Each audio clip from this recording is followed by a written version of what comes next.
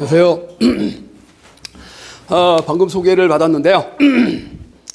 어, 일단 여러분들이 그 계리직에 예, 컴퓨터 일반 예, 해마다 그 2년에 한 번씩 시험을 보지만 예, 그 문제는 매번 어려운 것도 아니고 이게 쉬웠다 어려웠다 이제 아마 이 돌아가면서 이제 아마 난이도에 대한 걸로 합격 유부를 조절하는 것 같아요 보니까 작년 그러니까 2014년하고 2016년에 봤던 문제를 조금 그 물론 전에 있는 문제들도 있지만 비교를 해보면 이건 좀 어려웠고요. 네. 네, 이건 좀 쉬웠어요 그래도.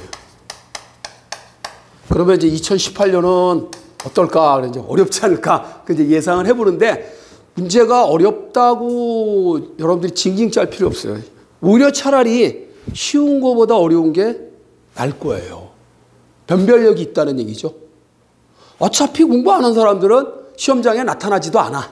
그죠? 그게 한 20, 30% 정도가 된다고 합니다. 에이, 뭐 떨어질 거 뭐 뭐하러 가.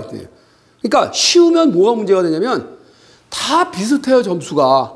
그러니까 조금 하나라도 실수를 하게 되면 그냥 떨어지는 거예요. 그렇죠? 그러니까 어려운 게 여러분들이 그렇다고 절대평가가 아니잖아요. 그죠? 상대평가예요. 10명 뽑으면 10등 안에 들어보면 되는 거야. 남보다 조금 하나 더 잘 맞으면 충분히 합격. 원래 뻔한 전략이기는 하지만 자, 근데 그 중에 이제 지금 아마 그 계리직을 준비하는 분들이 대부분이 비전공자들이에요.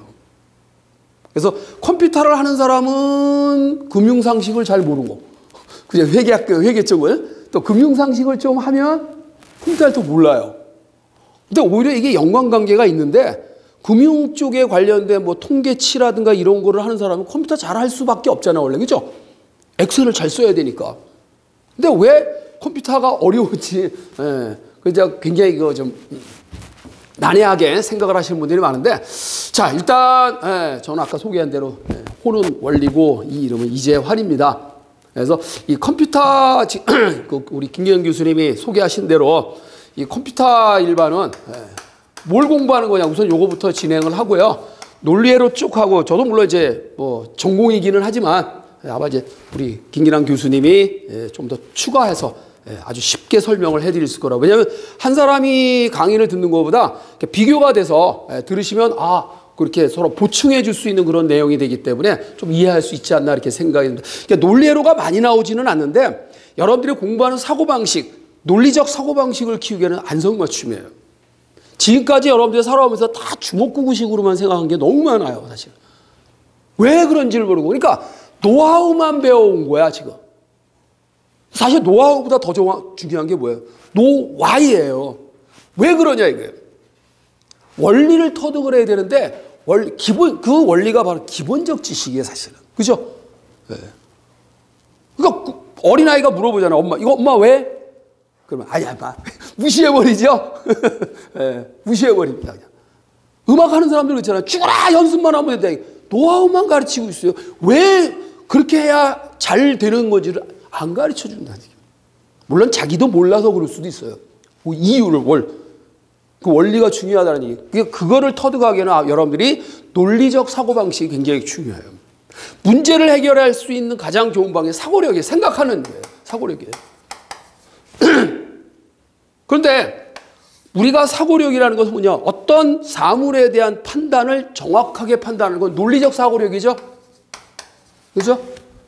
기존에 나와 있는 이론에 대한 거를 좀 더 업그레이드를 시키는 건 뭐예요? 비판적 사고죠?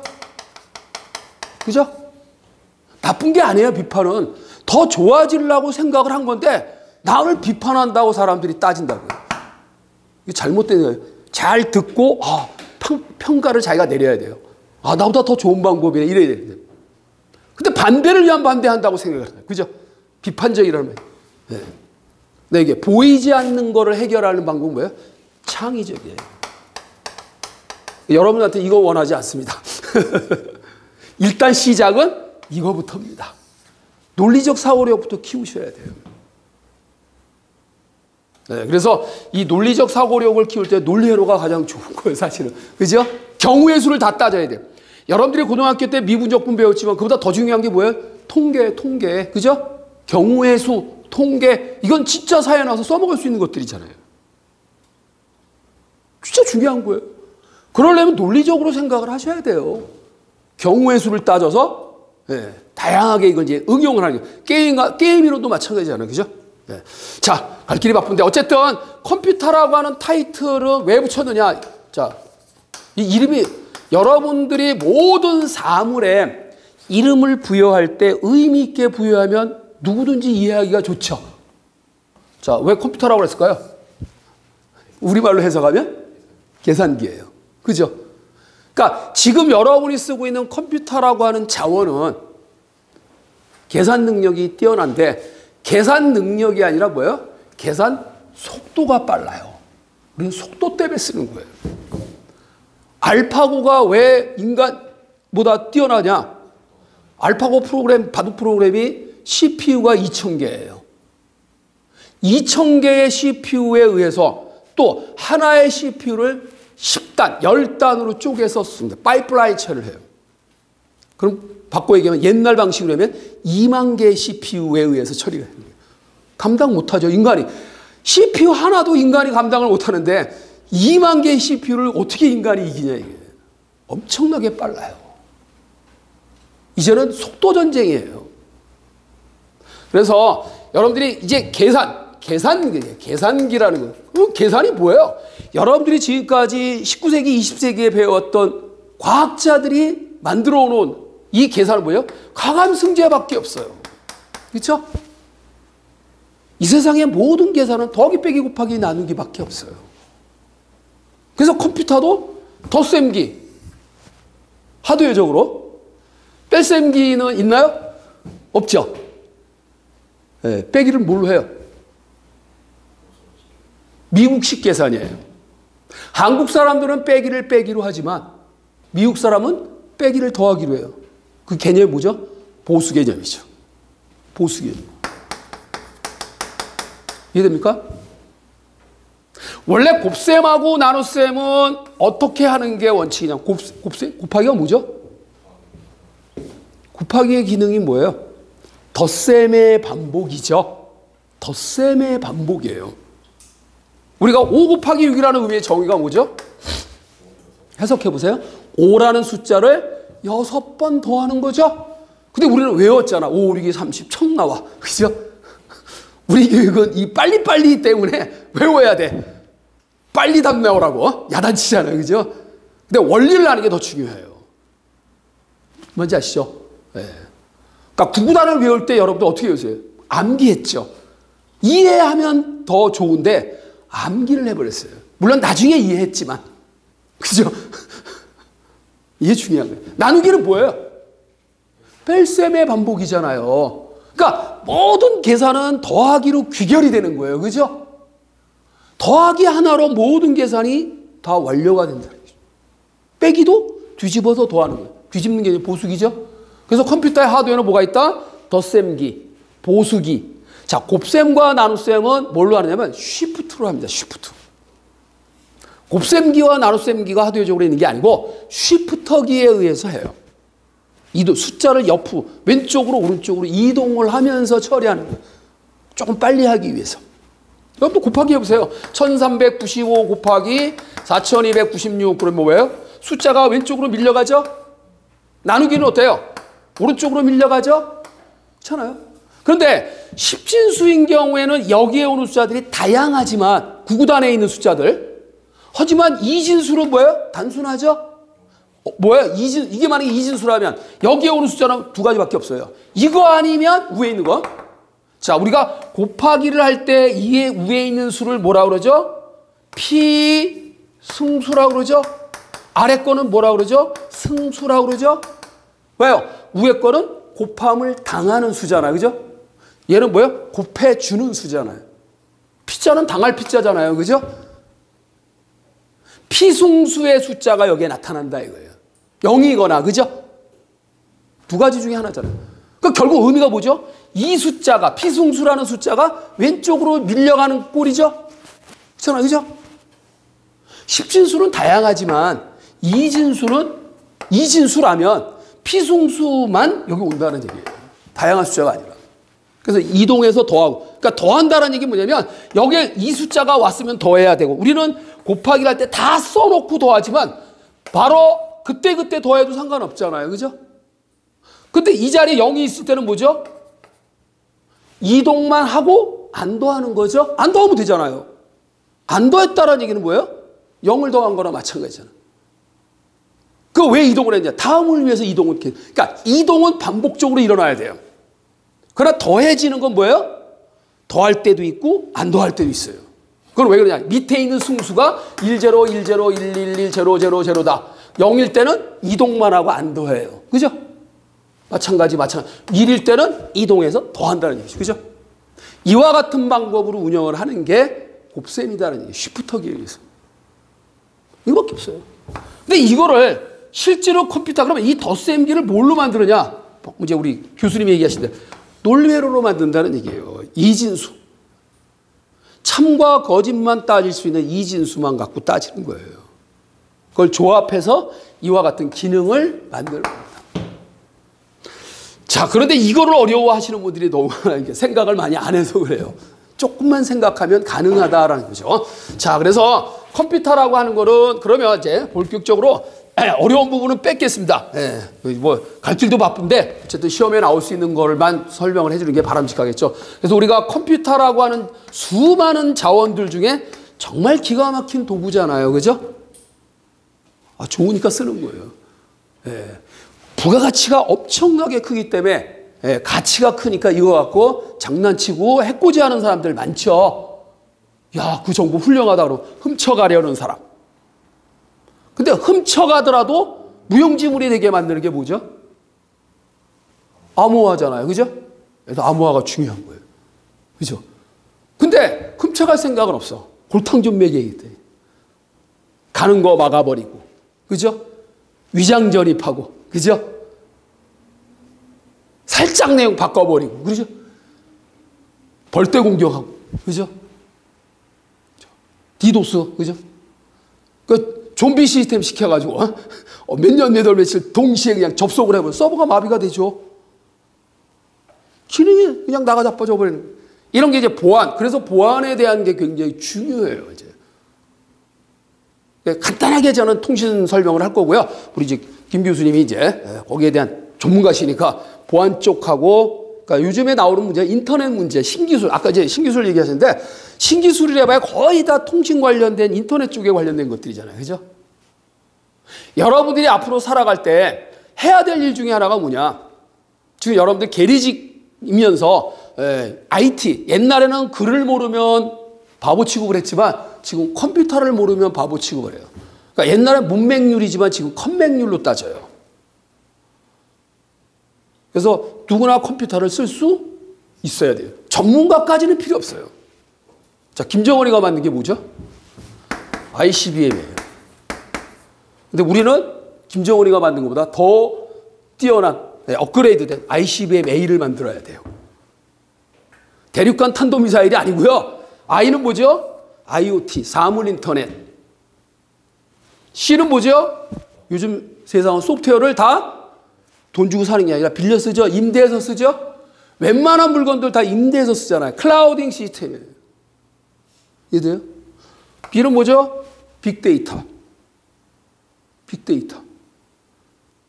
빅데이터에게 물어보면 여러분들이 생각하는 결과보다 더 정확한 결과를 줬어요. 이 빅데이터가 가지고 있는 자료가 어마어마합니다. 킬로, 메가, 기가, 테라, 페타, 엑사죠. 엑사단이에요. 엄청납니다. 지금 벌어지고 있는 정적 자료뿐만이 아니라 동적 자료들까지 다 모여 있습니다. 그러니까 정형화된 데이터베이스는 정형화된 데이터만 저장이 돼 있어요. 기본 포맷을 만들어서 그 기본 포맷대로 갖추어서 자료를 저장했어요. 그 정형화된 데이터라고 해요. 표준화를 하기 위해서. 그런데 빅데이터 안에는 뭐예요? 비정형 데이터들도 다 들어있어요. 어마어마합니다. 그래서 이 빅데이터를 잘 활용할 줄 알면 훌륭한 사람입니다. 네. 자, 그 다음에 M은 뭐죠? 모바일. 모바일. 요즘 모바일 세상이잖아요. 그죠? 자, 그런데 이 앞에 있는 네 개는요, 수동적입니다. 인간이 만들어서 인간 멋대로 쓰는 거예요. 그래서 호킹 박사가 며칠 전에 돌아가셨잖아요. 그죠? 그래서 인류의 재앙이 온다. 그래서 이제 우주로 나가서 살아야 된다. 그거 하고요. 그 인류의 재앙 중에 하나가 뭐예요? 환경도 있지만 바로 마지막 거입니다. 인공지능, AI입니다. 인공지능은 얘네 개는 수동이지만 얘는 능동적이에요. 얘가 공격을 합니다. 지가 학습을 해서 공부해가지고 사람보다 똑똑똑하면 뭐라 그러죠? 야, 너 바보냐? 까불지 마. 이런단 말이에요. 그래서 인공지능이 두려운 겁니다. 그런데 무지한 사람들은 다 인공지능한테 당할 수밖에 없죠.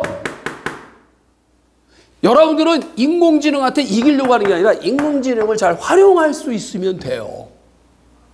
인공지능이 뭐냐? 아까 논리적 사고방식.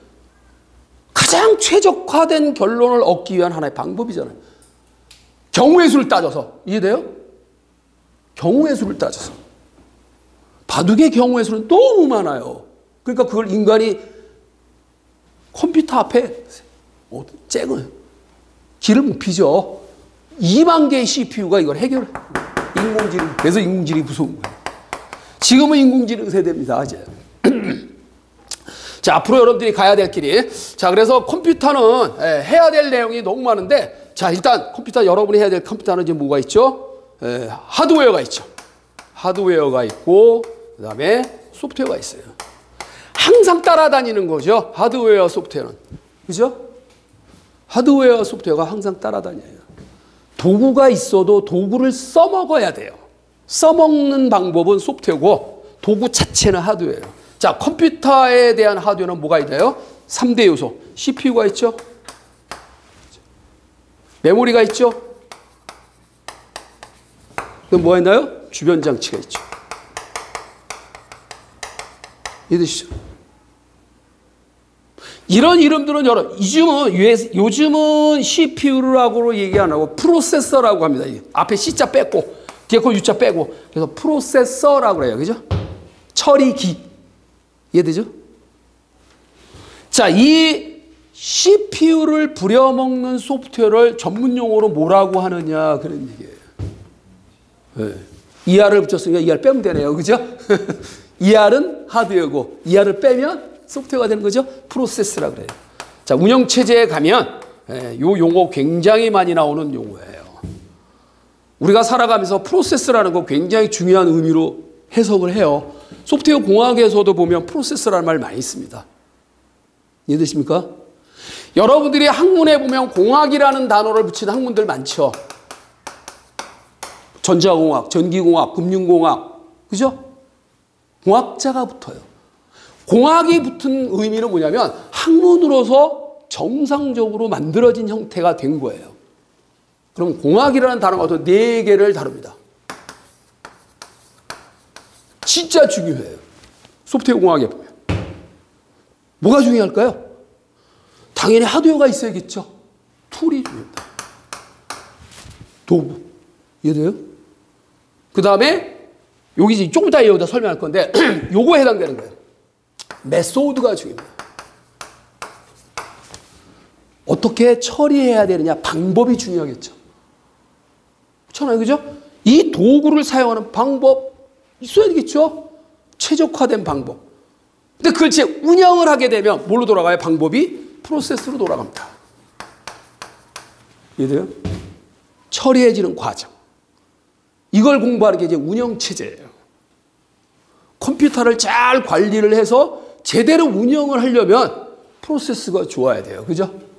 그래서 운영체제 문제에서 제일 많이 나오는 파트가 바로 메모리 관리하고 프로세스 관리예요. 메모리 관리, 프로세스 관리. 관리자, 관리자로서의 역할을 담당하는 게 운영체제입니다. 운영체제 많이 깔고 쓰잖아요. 그죠? 유닉스가 있고, 윈도우즈가 있고, 많죠? 뭐 하려고 그런 거예요? 그게 그 운영체제는 관리자로서의 역할을 하는 거예요. 제어, 감독관의 역할을 하는 자, 가장 네 번째가 뭘까요? 자, 우리는 훌륭한 집안에 보면 예, 존경하잖아요. 그죠?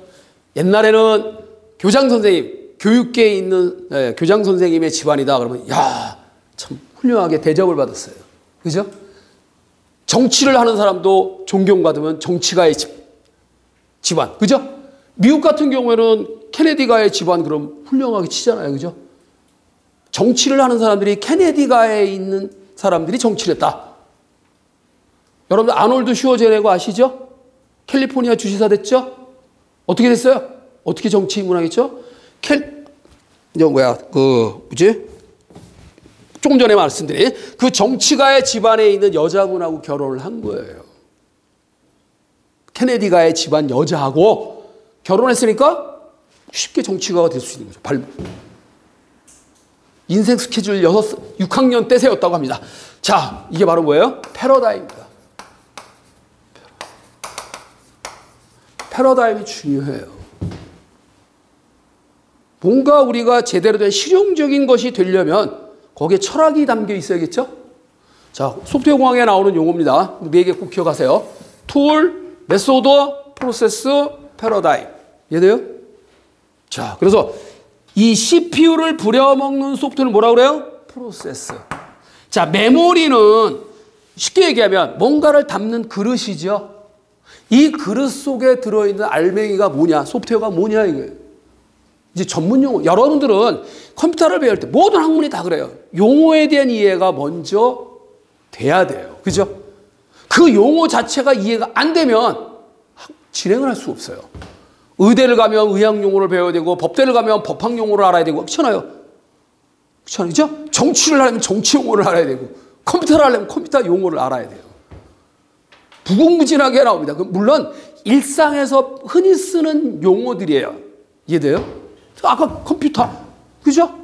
영어 공부한 사람은 컴퓨터, 아 계산하다 그런 뜻이잖아요. 거기다 이하를 붙여서 계산기 이렇게 붙이는 자, 물론 이제 반도체 컴퓨터로 만들어진 것은 지금 현재 컴퓨터 CPU의 속도는 한계에 부딪혔어요. 이제 소재를 바꾸겠죠, 이제. 더 빨리 하려고. 그죠? 네, 바이오 쪽으로 바뀐다고 하는데 어찌 모르겠습니다만은. 자, 메모리 안에 들어있는 알맹이를 뭐라고 하느냐? 프로그램이라고 해요. 그냥 보면 흔한 용어, 에이, 이거 뭐 흔한 용어네 이렇게 생각할지 모르지만 굉장히 약속된 용어로서 중요합니다. 프로그램이란 말 자체는 어떤 일을 진행하는 순서를 적어 놓은 거잖아요. 그죠? 일의 진행 순서들을 적어 놓은 건데 그 일의 진행 순서 명령어라고 하죠. 명령어들이 모여 있는 일을 처리하기 위한 명령어들이 모이고 명령어만 있으면 안 되겠죠. 자료가 있어야겠죠. 자료 처리하려고 우리가 컴퓨터를 이용하는 거니까. 그죠? 자, 프로그램. 근데 얘가 이 주변 장치에 들어 있으면 뭐라고 하느냐? 프로그램이라고 안 해요. 이게 보조 기억 장치죠.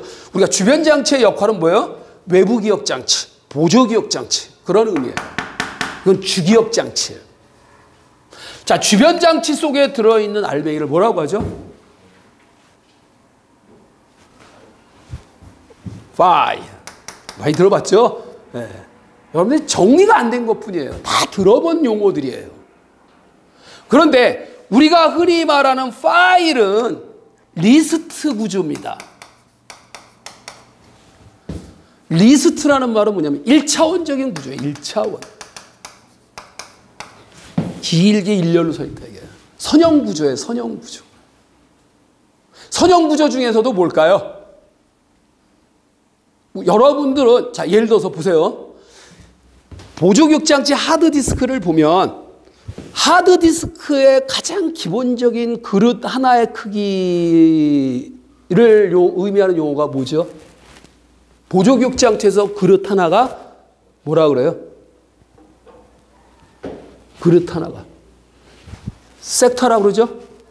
들어보죠? 섹타. 섹타. 아시겠어요?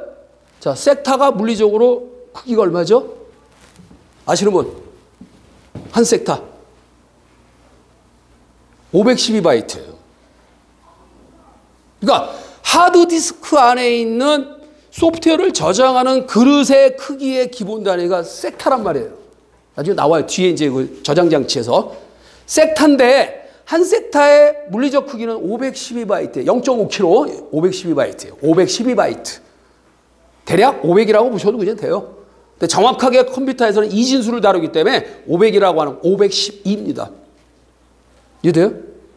그렇다면 내가 아래 한글로 이력서를 작성했는데 내가 작성한 아래 한글 프로그램이 3,000글자예요. 그럼 그릇이 몇 개 필요할까요? 다섯 개는 모자라죠. 아 이게 빨리 계산이 안 되면 안 돼. 에, 죄송합니다. 빨리 빨리 빨리 요구하는 거는 어차피 여러분들 합격을 시키려고 하는. 사실 저도 그 빨리 빨리는 별로 안 좋아해요. 그때 쫓겨난 사람이 누구예요? 아인슈타인, 에디슨, 그죠? 하도 물어보면 빨리빨리 대답 안 하고 답답하니까 쟤 무지한 거 아니야? 그 쫓겨났잖아요. 그죠? 그 집에서 공부했잖아, 에디슨이. 근데 발명의 왕이 됐고. 아인슈타인은 벌써 20세 때 벌써 그냥, 예. 대단한 사람 인물이 된 거잖아요. 생각을 많이 한 거죠. 누가 물어보면 척척 대답하려면 외워야 돼. 그죠? 야, 잠깐 기다려 생각해보고 대답할게. 이게 훌륭한 거예요. 생각해 본다는 자체가 굉장히 중요한 거란 말이에요. 이해되시죠? 근데 아무 생각 없이 사시는 분들 많죠. 생각 좀 하고 사셔야 됩니다. 네, 모든 거죠. 자, 그래서 이, 자, 조금 전에 섹터, 그러니까 내가 작성한 이력서 파일이 3,000글자가 들어가는 용량인데 3,000글자가 들어가려면 일단 그릇이 6개 필요하죠. 섹터가 6개 필요하죠? 그러면 그걸 담아야 돼요. 6개의 그릇에다 담는데 일단 처음에 담을 때는 어떻게 담는 게 좋을까요? 나란히 담는 게 좋겠죠. 이해되십니까? 그래서 나란히 그릇을 6개를 잡아가지고 물려 저장을 했어. 근데 또 다른 파일을 만들어서 그 옆에다가 또 저장을 했어. 그러니까 한달 뒤에 이력서를 꺼내가지고 거기다가 글자를 보충을 했어. 500자가 더 들어갔어. 그럼 3,500자가 됐죠. 그럼 그릇이 몇 개 필요하죠? 7개 필요하죠. 자, 조금 전에는 6개의 그릇에 들어간 알맹이가 연속적인 그릇에 들어갔는데 그거를 꺼내가지고 충원을 하면서 그릇이 하나가 더 추가가 된 거예요. 그러니까 시키기. 어떻게 저장할까요? 이미 들어있는, 야, 너 좀 뒤로 밀어. 연속적으로 저장해야 된다면, 기존에 들어있는 거 다 뒤로 밀어버려야 되잖아요. 얼마나 짜증나. 그죠? 그래서 어떻게 하냐. 운영이 불편해지고 어려워진 거예요. 그래서 여러분들 시험에 자료 구조가 굉장히 중요합니다. 자료 구조 문제가 많이 나와요. 그 자료를 보조기억 장치에 어떻게 보관하느냐. 자, 그릇 하나가 더 추가됐다 그랬죠? 빈 그릇 아무 데나 저장하고 그럼 어떻게 하면 될까요? 연결고리만 연결시켜주면 되겠죠? 그게 linked list예요. linked list. 이해됐나요? 이해됐죠? 네. 그렇게 보관하는 거예요. 1차원적으로 보관된 파일이라고 하는데 얘를 좀 더 2차원적으로 보관하게 되면 뭐가 되느냐? 바로 데이터베이스가 되는 거예요. 데이터베이스에 들어있는 자료는 표로 작성이 돼서 보관입니다. 표. 테이블이에요, 테이블. 그래서 조금 어려워요. 1차보다 2차가 좀 어렵겠죠. 네. 그래서 자료 구조에서는 1차, 저 리스트 구조만 배워요. DB는 따로 떨어진 거예요, 그래서. 이해됐나요? 자, 용어 빨리빨리 이해하세요. 그래야 진도 빨리 나갈 수 있습니다. 제가 이제 멘토 역할을 해드리는데 어차피 여러분들 시험에 합격을 하려면 문제를 많이 풀어보는 게 최고입니다. 근데 그 문제가 좋아야겠죠. 허접한 문제보다 나올 만한 문제, 그죠? 그래서 짝퉁 문제를 만들기로 마음을 먹었습니다. 기존에 그 봤던 문제들 그 폼에선 변하지 않아요. 그래서 짝퉁 문제 형태로 납니다. 짝퉁이 더 좋을 수 있어요. 그죠? 네, 그건 이제 출제하는 사람 능력에 따라서. 자, 여러분들이 이제 멘토 역할을 제가 해드릴 때 가장 많이 해야 될, 저, 뭐야, 주안점 뭐냐면 문제 많이 풀어보자. 좋은 문제 많이 만들어 여러분들 드리고 많이 풀어보자. 제일 좋겠죠? 근데 중요한 건 뭐냐면 이거 이론을 정형화돼서 다 배우고 난 다음에 문제 풀면 너무 시간이 모자라요, 사실은요. 그러니까 거꾸로 공부하는 게 좋아요. 요즘 거꾸로 수업이라는 말 많이 듣잖아요. 그죠? 문제를 통해서 이론을 정립하는 게 더 빨라요. 필요한 것만 이론을 아는 거니까. 그죠? 근데 이론을 먼저 하게 되면 뭐냐면 다 나오고 안 나오고 다 가르쳐야 돼. 진도를 나갈래, 그죠? 예. 자, 어쨌든, 그래도, 예, 그 편제상 제가 보기에는 일단 기본적인 이론은 알아야 되지 않느냐. 그래서 제가 설명을 드리는 거예요. 자, 이해되셨나요, 이제? 이 여섯 개를 관리하는 거는 운영체제예요. 이 하드웨어적인 구조를 공부하는 건 전자계산기 구조예요. 전자계산기 구조. 그게 이제 제일, 원래 이 IT 컴퓨터의 가장 핵심은 전자계산기 구조예요, 사실은. 제일 많이 나오는 항목이긴 해요. 과목이기도. 그 다음에 운영체제, 이 관리. 얘네들을 관리하는 측면에서 배우는 거를 바로 운영체제라고 해요. 그리고 다시 또 조금 아까 데이터베이스도 나오고. 이거 배우는 게 자료구조예요. 자, 자료구조는 간단합니다. 세 가지만 배우는 거예요. 자, 자료구조 얘기할게요. 자료구조는 말 그대로 컴퓨터에 의해서 처리되어지는 자료의 구조는 세 가지가 있어요. 세 가지를 배우는 겁니다. 그 중에서도 많이 나오는 것만 공부하시면 돼요. 어떤 구조가 있나요? 1대1 구조가 있습니다. 자료와 자료의 관계가 1대1 관계예요. 나하고 연결된 건 하나밖에 없어. 그걸 뭐라 그래요? 선형 구조라고 그러죠. 그렇죠?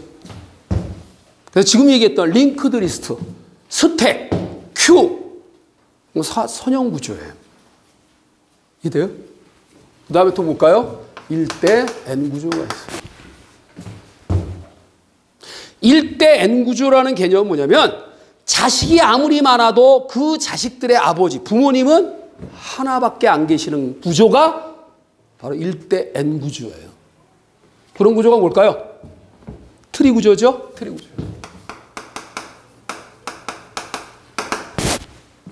절대로 사이클이 형성되지 않습니다. 네, 사이클이 형성되지 않은 구조를 트리 구조라고 해요. 트리 구조 시험에 잘 나옵니다. 여러분들이 지금 이 파일을 보관하는 폴더들 있죠. 디렉토리 폴더가 트리 구조로 운영을 합니다. 이 파일 자체의 알맹이는 linked list로 연결되어 있지만 그 목록들, 제목들 있잖아요. 그건 다 폴더, 그러니까 트리 구조 형태로 운영 관리해 줍니다. 계층 구조로. 이해되시죠? 트리 구조예요. 그 다음에 제일 어려운 게 이거는 안 나와요. 그러나 이론적인 건 알아둘 필요가 있습니다. M 대 N 구조. M 대 N 구조는 뭐냐? 바로 그래프라고 합니다. 그래프 구조예요. 근데 사실은 그래프 구조 안에 트리 구조가 포함되어 있는 거죠. 그죠? 특별한 경우의 모양이에요. 그래프하고 트리 구조는 같은 개념인데 거기에서 사이클을 없애버린 구조가 트리 구조예요. 그래프에서 사이클을 없앤 거를 트리 구조라고 해요. 이 건설 현장이나 이런 데서 우리가 일 처리를 할 때 그래프로 나타나잖아요. 그죠? 쭉.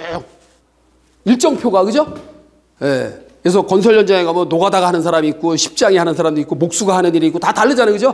코스별로 딱 해서 예, 만들어져요. 근데 뭐 노선표라든가 이런 노선표라든가 이런 걸 때 가장 가까이에 그러니까 최단 경로를 찾아줘야 되잖아요. 이럴 때 이제 신장 트리, 트리 구조로 변형을 해요. 해석을 할 때 신장 트리라는 말이 나와요. 트리 구조예요. 그러니까 그래프 구조 안에서의 가장 이제 비용이 절감이 될 수 있는 구조로 변환한 구조. 어차피 내가 목적지는 다 거쳐가면 돼요. 근데 중첩을 할 필요는 없잖아요. 그죠? 거쳐가는데 가장 적게 비용이 들어가는 구조로 우리가 운영을 해야 되겠다. 트리 구조를 이해하셔야 돼요. 그랬어요. 이해하시죠? 개념적인 건 여러분들이 알고 있을 거예요. 근데 깊이 들어가면 굉장히 어려워요. 자료 구조가요. 우리 전산직 공무원 7급 시험에 보면 자료구조라는 과목인데 얘가 가장 관건이었어요, 사실은. 이 자료구조만 점수 좋으면 거의 합격을 했어요, 사실은. 재밌더라고요, 또 과목 중에. 어려워요.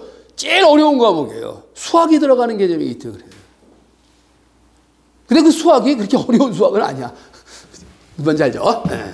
자, 그래서 여러분들이 이제 이렇게 그 자료 구조에서 배우는 게 선형 구조. 자, 우리 선형 구조 그런 거예요? 스택, 큐, 그다음 뭐예요? linked list. 그거예요. 스택이라는 말 왜 붙였을까요? 무슨 뜻이죠? 스택이 무슨 뜻이에요? 차곡차곡 쌓는 거잖아요. 그죠? 벽돌을 쌓는 거. 그러니까 쌓는 구조이기 때문에 자, 접시를 차곡차곡 쌓아놓으면 마지막에 올려놓은 게 먼저 꺼내 쓰게 되겠죠. 그래서 LIF 구조라고 그래요. last in. 마지막에 들어간 놈이 first out. 먼저 나온다 이거예요. 구멍이 하나예요. 들어가는 구멍과 나가는 구멍이 하나밖에 없어. 이해됐어요? Q는 뭐예요? 먼저 들어간 놈이 먼저 나가는 거예요. 선착순이에요. 구멍이 두 개, 나가는 구멍 따로 있고 들어가는 구멍 따로 있어요. 그런 차이예요. 구조적으로 운영할 수 있는 방법을 생각을 하시면 돼요. Q, 스택, 이해됐죠? 그러면 이 두 개는 똑같은, 이제 세 개가 선형 구조인데 얘는 뭐냐면 연속 할당이에요. 연속 할당이에요. 근데 우리가 배우는 링크드리스는 뭐예요? 불연속 할당의 목적이다 그랬더니 조금 전에 얘기했잖아요. 그죠? 아무데나 저장하고 연결고리만 비상연락망처럼 누가 누구에게 연락하고 누구는 누구에 연락하고 누, 그죠? 그게 linked list예요. 어렵지 않죠? 이론적으로 그렇죠? 그러나 이제 문제로 들어가면 복잡해져요. 왜? 해석을 잘 제대로 못하기 때문에 그런 거예요. 그러니까 조금 전에 이걸 빨리 풀려니까 그래서 skill이 필요해요. 근데 시간만 주면 여러분들도 생각해서 답을 낼 수 있어요. 어려운 내용이 아니니까. 뻔한 내용이기 때문에. 당연한 내용. 근데 이제 자꾸 빨리 요구하다 보니까 그게 이제 문제가 생긴 거죠. 자, 이렇게 해서 여러분들이 배워야 될 자료 구조. 네. 그 다음에 이제 언어가 나옵니다. 한 문제 내지 두 문제. 네. 한 문제 내지 두 문제. 그 두 문제가 나오면 C 언어 하나, 자바 언어 하나.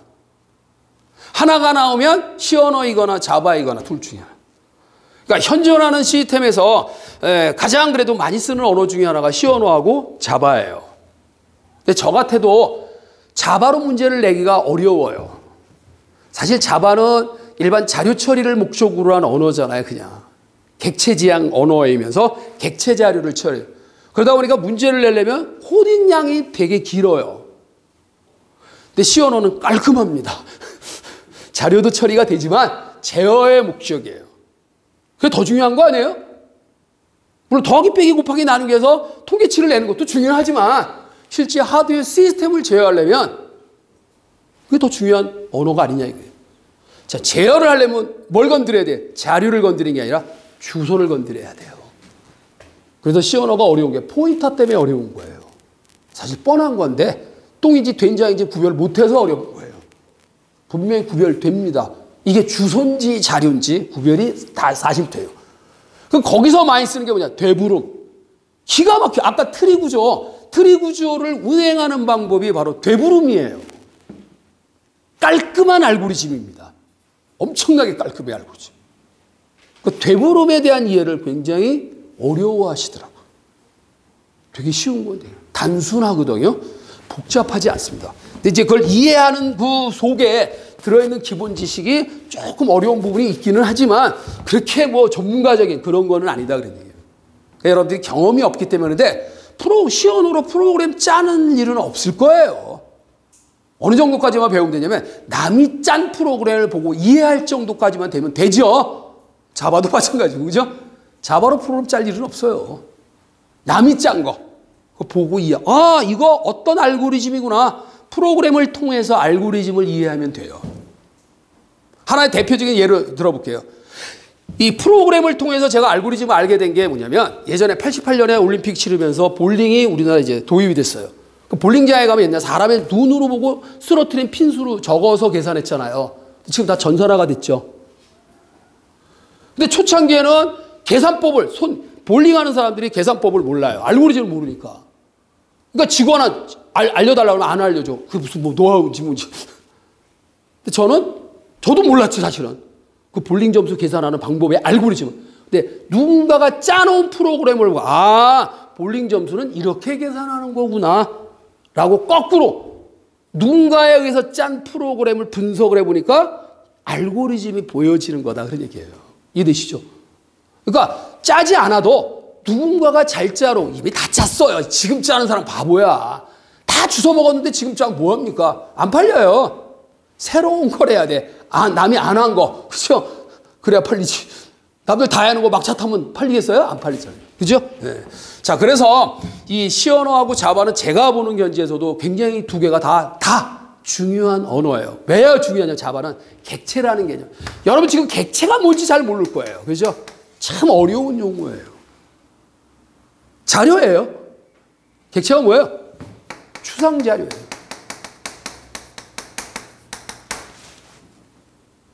추상 자료예요. 그 추상이 뭐냐? 이게 이제 어렵죠, 해석이. 자, 추상 자료의 추상이 뭐죠?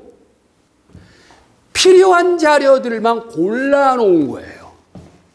쓸데없는 자료는 아, 필요 없죠. 그 쓸데없는 자료가 왜 들어와요? 필요한 자료. 어떤 일을 진행을 하기 위해서 꼭 필요한 자료. 자, 그럼 제가 하나 예를 들게요. 여러분 은행에 가서 통장을 하나 개설을 합니다. 그러면 통장에 들어있는 자료 중에서 제일 중요한 자료가 뭐죠? 돈이죠. 금액이죠. 금액. 내가 돈 얼마 넣고 얼마 빼고 그잖아 있잖아요. 그죠? 네, 날짜 시간도 중요하죠. 날짜 시간을 알아야 이자 계산해 줄 거 아니야. 그죠? 그러면 지금 얘기한 통장 속에 들어있는 자료는 금액. 금액이라는 거하고 날짜 시간. 중요하잖아요. 그죠? 이런, 뭐, 핵, 핵심으로 따지면 그 두 개가 중요한 자료예요. 그런데 그 자료만 달랑 있으면 아무 의미 없죠? 그 자료 가지고 뭐 하려고 그런 거예요? 돈도 집어넣고, 돈도 빼고, 그죠? 내 돈 얼마인지 확인도 하고. 자, 돈 빼는 거 뭐죠? 출금. 돈 집어넣은 거예요? 입금. 내 돈 얼마인지 확인하는 거 뭐예요? 잔액조회. 이 기능이잖아요, 이게. 그죠? 자료를 가공하기 위한 기능이잖아요. 그걸 뭐라고 하냐? method라고 해요. 객체지향 언어에서는 method라고 해요. 근데 옛날에는 뭐라고 했어요? function, 함수라고 했어요. 함수가 기능이에요. 이해하시나요? 그러니까 용어만 다를 뿐이지 알맹이는 똑같은 개념이에요. 이해되십니까? 그런데 function은 어떤 기능이냐? 독립적 기능이에요. method는 종속적이에요. 자료에 종속되어 있어요. 포장되어 있어요. 캡슐화가 되어 있어요. 이해되시죠? 그래서 객체지향 언어는 가장 핵심이 캡슐화입니다. 정보를 숨겨야 되니까. 그 캡슐화된 자료 안에 뭐가 들어있나요? 자료와 method가 들어있다. 이게요. 그걸 한 세트가 그래 뭐예요? 객체라고 해요. 이해됐죠? 용어에 대한 걸 빨리빨리 이해하셔요. 그렇죠? 그래서 요즘 언어는 그래서 객체 지향 개념으로 운영을 합니다. 자, 그래서 캡슐화가 되어야 돼요. 또 하나, 세 가지가 돼야 됩니다. 세 가지가. 객체 지향 언어는 세 가지가 되어야만 객체 지향 언어라고 말할 수 있어요. 자, 조금 전에 했던 캡슐화, 정보를 숨기는 거예요. 그 다음에 누군가가 짜놓은 거를 내가 쓸 수 있으면 좋겠죠. 왜냐하면 내가 어떤 일을 할 때 모든 일을 내가 다 작성을 해서 하면 짜증납니다. 능력도 안 될 뿐더러. 근데 내가 처리하려고 하는 기능이 누군가가 짜놨어요. 와, 고맙죠. 네. 그냥 막 갖다 쓰면 도둑놈이에요. 예, 저 존중해주면서 써야 돼. 그래서, 아우, 내 거 당신 거 좀 쓰려고 하는데, 아버지를 모시겠습니다. 그럼 좋죠. 그렇잖아요. 내 입장에서 제가 뭔가의 기능을 내가 만들어 써도 되는데 저분이 만든 걸 내가 쓰고 싶다 이거야. 그럼 내가 뭐라고 해야 돼요? 제가 아버지로 모실 테니까 갖다 쓰겠습니다. 이게 뭐예요? 상속이에요. 상속이 돼야 돼요. 상속의 근, 극적인 목적은 뭐다? 재사용. 누군가가 작성해 놓은 거를 내가 재사용할 수 있게 만들어 놓은 거예요. 그러니까 재사용이 돼야 돼. 그러니까 상속이 돼야 되고요. 캡슐화가 돼야 돼요. 자, 이런 경우도 있어요. 아버지가 가지고 있는 기능이 10개야. 이해돼요? 아버지가 가지고 있는 기능이 10개인데, 10개 중에 9개는 마음에 들어. 근데 한 개는 마음에 안 들어. 아버지가 하는 행동에 대해서 마음에 안 들어. 마음에 드는 건 내가 그냥 쓰면 되잖아요. 그죠? 근데 만들기는 아버지가 만들어놨는데 아버지는 술 드시고 꽥꽥거려. 나는 그 꽥꽥거리고 싶어요. 나는 꼬꼬닥거리고 싶다 이거야. 그러니까 머리는 똑같은데 그 속에 들어있는 기능의 알맹이가 다르단 말이야. 아버지께 마음에 안 든다 이거야. 그걸 이제 맞, 맞짱 뜬다고 그래, 그러지. 아버지. 아버지하고 맞짱 뜨는 거야. 자, 아버지하고 맞짱 뜨면 누가 이겨? 자식이 이기죠. 부모, 그죠? 예. 그래서 아버지가 가진 기능하고 똑같이 흉내를 내는 거예요. 물론 알맹이는 다르게. 머리가 똑같았고, 머리가. 그러면, 예를 들어서, 아버지, 아버지가 만든 그 기능의 이름이 KBS야. 근데 내가 만든 기능도 KBS야. 똑같이 했어. 맞짱 뜬 거야, 그러니까. 물론 그 속에 들은 알맹이는 달라요. 그러면, 야, KBS 나와봐. 그럼 누구 거 수행하나요? 자식 거 수행하는 거예요. 이해돼요? 자동으로 맞짱 뜨게 놓은 거야. 이해돼요? 아, 근데 가끔은 아버지 것도 쓰고 싶어. 아버지 걸 쓰려면 앞에다 붙이면 돼요. 아버지라고 붙이면 되죠? 슈퍼. 그러면 돼요. 슈퍼.kbs 이러면 돼요. 이해됩니까? 나는 생략을 한 거야. 원래 나는 dis.kbs예요. 근데 그 dis를 생략할 수 있어요. 이해돼요? 재밌죠? 이게 다형성이에요. 다형성을 인정을 해줘야 돼요. 모든 언어에 보면 다형성 존재하죠. 한자에 보면 똑같은 발음인데 뜻이 다 틀려. 한글도 다형성 있고 영어도 다형성 있죠. 여러분들 영어 공부할 때 제일 어려운 게 바로 다형성. 한 단어가 여러 개 뜻을 갖고 있잖아요. 그죠? 짜증나게 왜 이렇게 만들었냐 그런데 한 단어가 한 뜻으로 하면요. 단어가 수천만 개가 됩니다. 그죠? 그래서 그 단어의 개수를 줄이면서 한 단어가 여러 개 뜻으로 의미를 부여한 거예요. 우리나라 단어 중에 배, 배라는 우리말 한번 보세요. 세 가지가 있죠. 물에 떠다니는 배도 있고, 먹는 배도 있죠. 구별돼야 안 돼요. 그것만 갖고는 안 되지. 문장의 주변의 환경을 보면 알 수 있죠. 그렇잖아요. 아, 이 배가 무슨 배인지, 이 배인지, 그죠? 네, 사람의 배인지, 물에 떠다니는 배인지, 먹는 배인지 구별되잖아. 그게 국어 실력이지만, 그죠? 그걸 다형성이라고 그래. 폴리모피즘. 폴리모피즘이라고 그래요. 이해돼요? 자, 그래서 객체지향 언어는 이 세 가지가 돼야 됩니다. 정리해 보세요. 첫째, 상속이 돼야 되고, 캡슐화가 돼야 되고, 그 다음에 뭐예요? 다형성이 돼야 돼요. 이건 나올 가능성이 굉장히 커요. 지금 현재 쓰고 있는 언어가 객체 지향 언어이기 때문에 소프트웨어 공학 문제예요. 자, 조금 쉬었다가요. 다음 시간에 이어서 이제 좀 본격적으로 진행을 해보도록 하겠습니다. 네.